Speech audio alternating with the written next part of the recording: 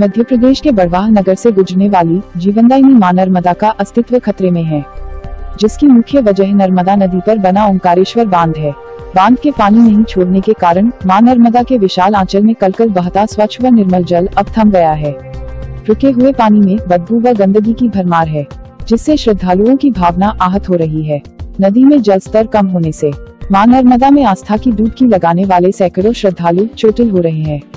जिससे श्रद्धालुओं में भारी रोष है। यहाँ पे जब तीन दिनों से मैं देख रहा हूँ कि नर्मदा जी का जल स्तर लगातार कम होते जा रहा है।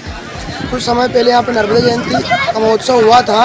उस बीच में यहाँ पे पानी बहुत अच्छा था, सभी श्रद्धालुगण वगैरह यहाँ पे पूजा पाठ करने आते हैं। तब बहुत अच्छे से दर्शन हो रहे थे।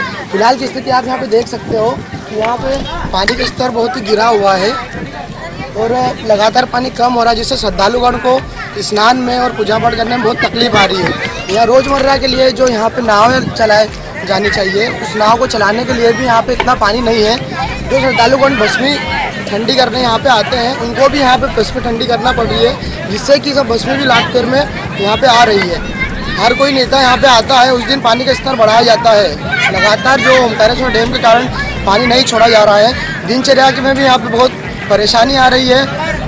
पीने के लिए पानी की सुविधा है, जो यहाँ से पानी जाता है, ये पानी इतना भी स्मेल कर रहा है। जिससे कि यहाँ पे मोटर को लगातार ऊपर नीचे किया जाता है। गाँव में पीने के पानी की समस्या भी इस कारण बहुत है। नर्मदा जी, लाखों लोगों की आस्था का केंद्र है।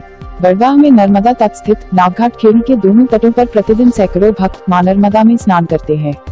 यहाँ पवित्र कल कल बहते जल की जगह अब चट्टाने दिखाई दे रही है।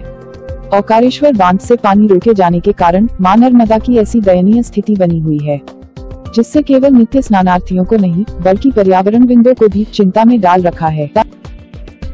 हाँ हमारे भी देखने में आया था जल स्तर काफ़ी कम हुआ है तो एनएचडीसी में बात भी मेरी हुई थी। तो वहाँ पर मैंने पूछा कि पानी का स्तर क्यों नहीं छोड़ा जा रहा है तो उन्होंने कहा था कि शायद रिक्वायरमेंट नहीं आया है, उसके बाद कुछ मशीन का भी उनका बता रहे थे कि एक ही मशीन चल रही है। तो आज आज के दिन तो बोल रहे थे कि जो स्तर है, वही रहेगा जो आज वर्तमान स्थिति है, लेकिन फिर कल से छोड़ दिया जाएगा। जी, वो श्रद्धालुओं की जो पानी की कमी थी इस कारण श्रद्धालु में जो श्रद्धा रहती नहाने की और जो रोज़गार जुड़े हुए हैं, इसी के तहत तो बात हुई थी कि जो पानी का स्तर क्यों कम हुआ है।